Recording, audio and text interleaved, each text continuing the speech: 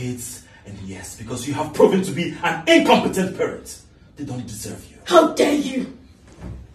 Charles, how dare you even think of taking my kids? Let me tell you something. I carried them. I birthed them and I breastfed them.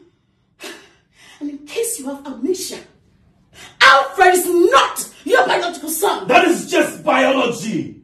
I have taken care of that boy like my own since he was four years old. I legally adopted him. I know him better than you.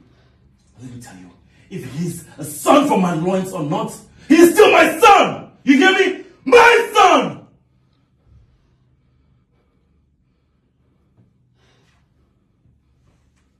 It will be a cold day in hell. The day I let you take my